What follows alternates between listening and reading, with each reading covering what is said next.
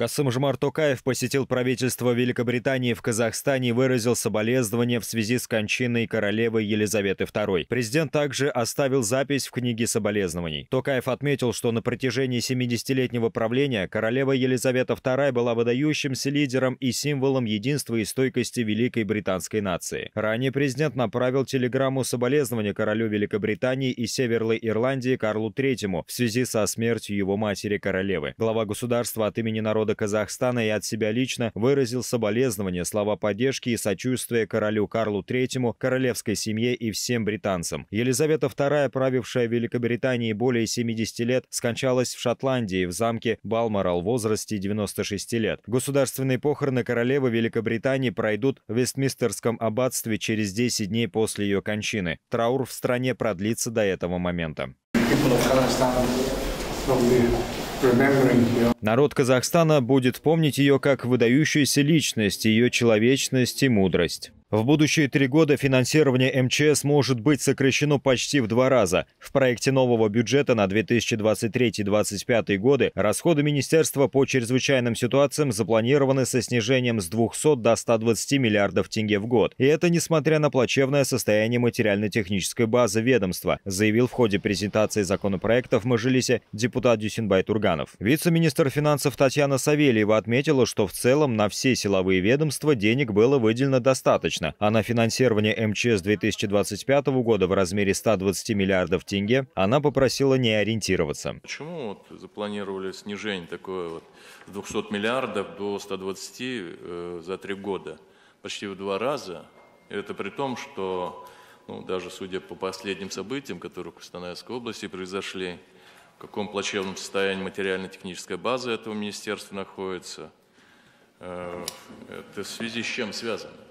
Я просила бы вот больше ориентироваться на показатели 2023 года. В 2025 году расходы на маттехоснащение, авиационную технику, пожар, спаси, э, спасательную технику будут предусмотрены при разработке проекта бюджета на соответствующие годы. Как выяснилось, Минфин урезал деньги не только МЧС, но и в сфере торговли. Помните, министр Жумангарин предлагал выдавать 25 миллиардов из бюджета сахарным заводам для того, чтобы они закупили сырье. Взамен заводы обещали не поднимать цены на сахар. Помощь от государства получат не только производители сахара. Так, крестьянские фермеры все еще отказываются от удобрений, как результат снижения урожайности. Министр обещал помочь производителям деньгами, взамен они не должны повышать цены. Но, как выяснилось, эти деньги пока даже не предусмотрены, то есть казахстанцев ожидает новое повышение цен. Вопрос был про стабилизацию цен на продовольственные товары в первую очередь. Нету здесь никаких э, средств в бюджете. Да, здесь, наверное, по, то, что касается стабилизации цен, прямых э, расходов э, не предусмотрено. Но э, и в рамках расходов Министерства э, торговли и интеграции сейчас обсуждается э, создание новой информационной системы. Это вот с учетом пересмотра подходов по распределительной системе товаров. Поэтому сейчас оно в разработке, а, деньги будут предусмотрены уже после окончательной его проработки. Сколько денег направит на сельское здравоохранение в Казахстане? Расходы на здравоохранение села включены в расходы первичной медико-санитарной помощи. На сегодня запланировано 460 миллиардов тенге, из них 40% идет на село. Также на стационары села предусмотрены расходы в рамках обязательного социального медицинского страхования и гарантированного объема бесплатной медицинской медицинской помощи – порядка 300 миллиардов тенге. Итого 500 с лишним миллиардов тенге на село. Наряду с этим, по словам министра, в сельской местности низкое качество наблюдения и недостаточная доступность консультативно-диагностических услуг и лекарственных средств пациентам с хроническими заболеваниями. Это, в свою очередь, оказывает опосредованное влияние на некоторые показатели здоровья населения, добавила Ажар Геният. В годы реформирования системы здравоохранения сокращались Строились койки, закрывались сельские больницы. В этой связи в селах отмечался отток медицинских кадров. Несмотря на принимаемые меры, на сегодня дефицит кадров на селе сохраняется. Так, на начало текущего года дефицит медицинских кадров на селе составляет порядка одной тысячи единиц. По последним данным ВОЗ, в Казахстане растет число детей с избыточным весом и диагнозом ожирения. Каждый пятый ребенок в возрасте 9 лет страдает от этого. Чаще всего лишние килограммы набирают дети, проживающие в городе и не получавшие в младенчестве грудное молоко. Дети постарше школьного возраста регулярно потребляют сахаросодержащие прохладительные напитки. Почти половина из них еженедельно. Еще есть серьезная проблема, связанная с недостатком полноценного питания детей. Согласно исследованиям ЮНИСЕФ, сегодня в Казахстане около 1 миллиона детей проживают в семьях с низкими доходами, где родители не в состоянии обеспечить сбалансированное питание детей. Мы выделяем три э, бремени, связанных с питанием. Это избыточное питание, недостаточное питание, а также несбалансированное питание, которое э, выражается в дефиците или наоборот избытке макро- и микронутриентов, включая витамины и минералы. Особенную обеспокоенность вызывает рост избыточной массы тела и ожирения среди детей. Эксперты предлагают увеличить налогообложение на сахар для сокращения спроса на вредные продукты, ограничить рекламу сахаросодержащих продуктов, а также смесей для искусственного вскармливания детей. И вообще, стандарт школьного питания должен быть пересмотрен с обязательным употреблением порции фруктов или хотя бы одного яблока в день, а также хотя бы одного стакана молока. Еще было бы хорошо, чтобы питание было обогащено элементарными витаминами D, йодом и кальцием. Организация также предлагает ввести в стране стране бесплатные горячие обеды для всех школьников, вне зависимости от социального статуса семьи. На 500 миллионов долларов выросли валютные активы нацфонда в августе. По предварительным данным, в августе объем валютных активов Национального фонда составил 53 миллиарда 800 миллионов долларов. Об этом сообщила заместитель председателя Национального банка Алия Молдобекова. Она отметила, что в прошедшем месяце из Национального фонда в республиканский бюджет было выделено 384 миллиарда тенге в виде трансфертов, основная часть которых была выделена за счет тенговых поступлений в фонд в размере порядка 338 миллиардов миллиардов тенге, а также за счет остатка на тенговом счете Национального фонда. В прошедшем месяце Национальный банк не осуществлял продажу валютных активов нацфонда на внутреннем валютном рынке. При этом валютные поступления в фонд в августе составили 1 миллиард 760 миллионов долларов, сообщила Молдобекова. Вместе с тем она отметила, что инвестиционный доход нацфонда в августе был негативным. По словам Молдобековой, снижение рынка облигаций и акций связано с глобальным оттоком капитала в инструменты денежного рынка. Это происходило происходило на фоне продолжающегося ужесточения денежно-кредитной политики ведущими мировыми центробанками. При этом долгосрочная доходность Национального фонда с начала создания в годовом выражении составила 3,5%. Банкноты номиналом в 200 тенге являются законным платежным средством. Об этом сообщает филиал Национального банка Республики Казахстан. Купюры номиналом в 200 тенге наряду с монетами должны принимать по всем видам платежей, банковских операций и переводов. Срок действия банкнот не обозначен, из оборота они изымаются по мере естественного износа. В случае, если э, какие-либо организации или физические лица отказываются в приеме данных банкнот, то э, э, те люди, которые хотят ими заплатить, то могут обратиться с заявлением в филиал Национального банка, то есть наш филиал. Но для этого мы рекомендуем сам факт отказа зафиксировать на видеокамеру ваших смартфонов или же получить письменное обоснование отказа от лица, который отказывается в приеме данной банкноты. Небольшой спад заболеваемости коронавирусом за сутки зафиксирован в Казахстане. Об эпидемиологической ситуации по коронавирусной инфекции на 7 сентября сообщили в межведомственной комиссии. Так, за сутки 253 казахстанца заболели COVID-19. Ни одного заболевшего коронавирусной инфекцией не выявили в Шимкенте. Больше всего случаев зафиксировано в Нур-Султане – 51, в Акмолинской и Карагандинской областях – 36 и 28 случаев соответственно. Вместе с этим 333 человека человека выздоровели от коронавирусной инфекции за сутки. Самый высокий показатель наблюдается в Нур-Султане – 45 человек. В Мангостаускской области осудили сотрудника антикоррупционной службы. За получение взятки следователя Осета из Басарова приговорили к штрафу в 15 миллионов тенге, а также пожизненно лишили прав занимать должность на государственной службе. Приговор вступил в законную силу. Судом установлено, что из Басаров получил через посредника взятку в виде денег в сумме 1 миллион тенге за непривлечение к ответственности взяткодателя за незаконные действия. Признание вины, чистосердечное раскаяние сотрудника антикора поспособствовало способствовали раскрытию уголовного правонарушения. Стоит отметить, экс-сотрудника разоблачили коллеги по цеху из Департамента собственной безопасности агентства. На официальном сайте Антикора заверяют, бескомпромиссная борьба с коррупцией ведется и в собственных рядах. К слову, посредник также понес наказание. Его оштрафовали на 20 миллионов тенге с пожизненным лишением прав занимать должность на государственной службе. Второй подсудимый признан виновным в совершении статьи 368, часть 1, 190, часть 1, 28, часть 4, 367, часть 2 Уголовного кодекса Республики Казахстан и в соответствии со статьей 58, часть 3 Уголовного кодекса Республики Казахстан по совокупности уголовных правонарушений путем поглощения менее строгого наказания более строгим, более строгим окончательно назначить штраф в размере 20 миллионов тенге. Задержанного при спецоперации по ликвидации преступной группы, промышлявшей контрабандой поставкой наркотических средств и их реализации, осудили на 16 лет лишения свободы с отбыванием наказания в учреждении уголовно-исполнительной системы максимальной безопасности. Напомним, агентством по финансовому мониторингу совместно с Комитетом национальной безопасности в Нур-Султане Алматы была проведена спецоперация по предотвращению деятельности лиц, поставлявших и распространявших наркотические средства на территории Казахстана. Они были задержаны в момент получения очередной международной посылки, упакованной в корма для домашних животных. Общий вес наркотиков составил более 7 килограмм марихуаны и мефедрона. По решению суда изъятые наркотические средства уничтожены.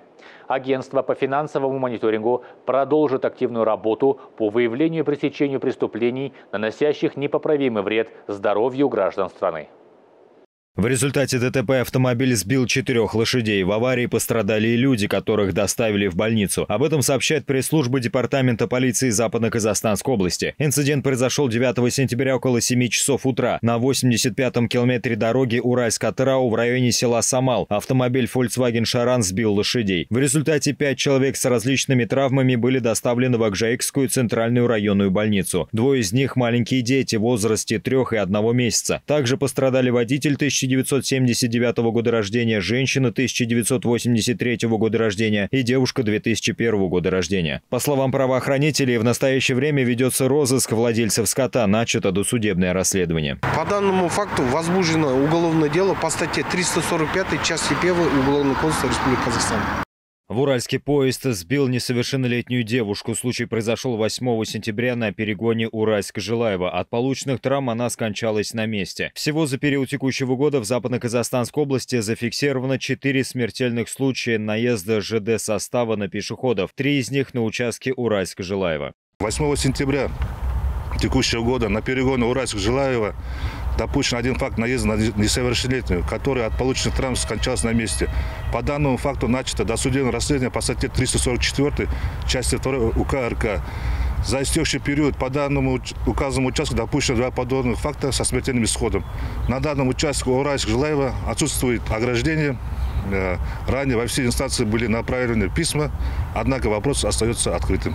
Жители Актубе выступили против строительства магазина на детской площадке. Скандал разразился в 12-м микрорайоне. Жильцы четырех многоэтажек возмущены тем, что прямо под их окнами собираются открыть мясной павильон. По их словам, торговых точек вокруг предостаточно, а вот игровая площадка всего одна.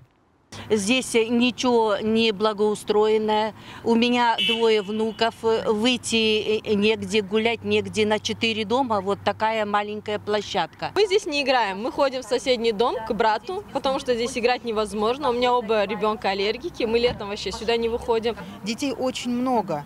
Мы поэтому, конечно, хотелось бы, чтобы у нас во дворе построили воркаут-площадку для детей постарше, чтобы построили футбольное поле для детей, кто увлекается футболом, чтобы баскетбольная площадка была. А в городском отделе архитектуры сообщили, что на 15 квадратных метрах владелец участка собирается возвести одноэтажный магазин. Но после многочисленных жалоб со стороны жильцов работы пришлось приостановить. Данный земельный участок с целевым назначением а, для размещения обслуживаемого магазина находится в частной собственности у предпринимателей с 2010 года. А, а, разрешительные документы, в том числе архитектурно-планировочное задание, эскизный проект, получены владельцем данного магазина. Если жители будут также против строительства данного дома на территории их многоэтажного жилого дома, то будет то, скорее всего, будет рассматриваться вопрос о переносе э, данного земельного участка. Окончательное решение в Акимате примут после проведения общественных слушаний. Жители тем временем собирают подписи. Против строительства магазина уже выступили больше 60 человек.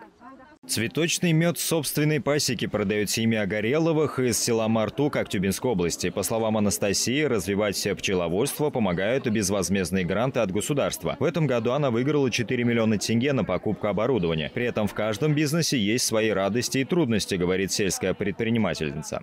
А сталкиваемся мы с проблемами. Это сбыт, это реклама, э, вот, пчеловодство. Это мы сталкиваемся с таким, что нету цветов полевых, э, то выкосили, то сгорело, вот поэтому именно своей базы вот нету. Сейчас мы пытаемся взять землю, чтобы самим сеять, чтобы пчелы оттуда носили, чтобы именно стационарно встать. Сейчас мы передвижные, мы кочевые. То есть мы переезжаем с одного места, где-то зацвело, туда переезжаем вот это вот с места на место. Больше 20 тысяч жительниц Актюбинской области занимаются бизнесом. Мартукский дом культуры стал площадкой для встречи деловых женщин со всей области. Республиканский бизнес-форум посвящен жительницам села, которые открыли свое дело. Каждая из них поделилась своей историей успеха. Все мы начинали с нуля, прошли курсы в Палате предпринимателей, защищали свои проекты. На свой первый грант я открыла в поселке пекарню. Сейчас занимаемся кооперацией и расширяем производство. В гору идут дела и у других участниц программы «Бастау Бизнес». С ними встретился автор успешного проекта. По словам Эльдара Жумагазиева, такие форумы пройдут во всех регионах, где запустят проекты, направленные на поддержку сельских женщин. Я думаю, что такой линк, э, когда люди, которые могут принять решение на республиканском уровне, общаются с сельскими женщинами, я думаю, очень полезен для страны в целом. Актюбинская область в лидерах по развитию массового предпринимательства. Только на финансирование проектов МСБ ежегодно выделяется до 11 миллиардов тенге. Правоохранители Западно-Казахстанской области проводят очередную акцию «Приемная на дороге». Мероприятие, организованное по всей стране, продлится два дня – 9 и 10 сентября. Основная цель – наладить тесный контакт с населением и ответить на их актуальные вопросы. С начала года в дорожно-транспортных происшествиях погибли 65 человек, 288 получили различные телесные повреждения. По итогам 8 месяцев зарегистрировано 205 дорожно-транспортных происшествий, котором 65 человек погибло и 288 человек получили, получили телесные повреждения различной степени. Жители города могут обратиться в департамент полиции по вопросам администрации, местной полиции и миграционной службы. Только за первые полдня юридические консультации получили более 30 человек. Я поддерживаю данную акцию, считаю то, что нужно данную акцию проводить на постоянной основе, чтобы наша подрастающая молодежь знала все законы и правила дорожного движения. Акция «Приемная на дороге» проводится по указанию Министерства внутренних дел Республики Казахстан. В областном центре данная акция проходит в трех местах. Итоги будут подведены вечером 10 сентября.